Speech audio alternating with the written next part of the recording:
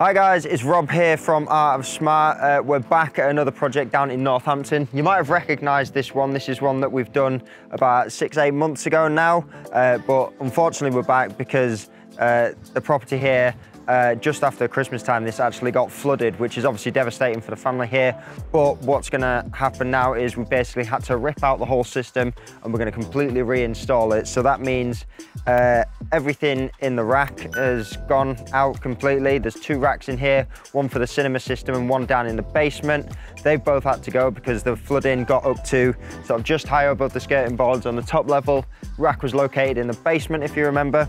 So they've both had to go.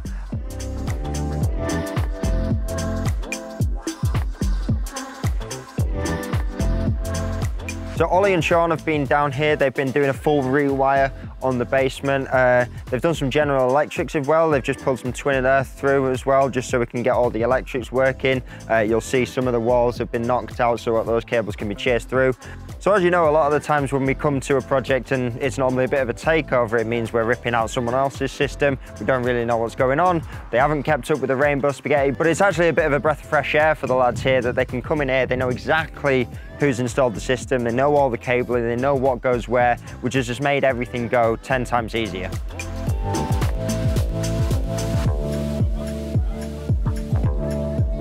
So all the lads have been down here this week. That's Shaun, Oli, Andrew. They've been here ripping absolutely everything out. So that means that absolutely everything's getting replaced. Obviously the two racks that we spoke about before, all the speakers, uh, some of the, uh, well, all of the touch screens, including all of the cameras and stuff on here. Everything is going and everything is getting replaced on this property.